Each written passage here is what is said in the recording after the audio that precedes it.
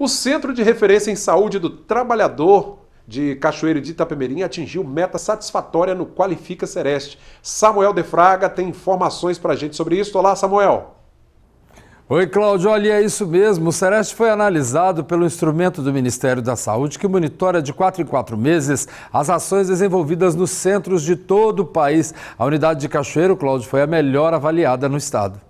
A avaliação é composta por indicadores relacionados às ações de vigilância, assistência e educação permanente em saúde do trabalhador e envolve vários indicadores e dados obtidos em sistemas nacionais de monitoramento, além de informações registradas em questionário que é preenchido pelo próprio Sereste e enviado ao Ministério da Saúde. O objetivo é avaliar os centros de referência em saúde do trabalhador municipal e regional de todo o Brasil e seus processos de trabalho, tendo como base os critérios utilizados no procedimento de cálculo de mensuração da meta de saúde do trabalhador do Plano Nacional de Saúde, o PNS 2020-2023, que não pôde ser monitorado via SIS, o Sistema de Informação em Saúde. O Centro de Referência em Saúde do Trabalhador de Cachoeiro, Sereste, oferece atendimento especializado aos trabalhadores do município e da região, além da assistência em saúde relativa a doenças ou a agravos decorrentes das atividades de trabalho.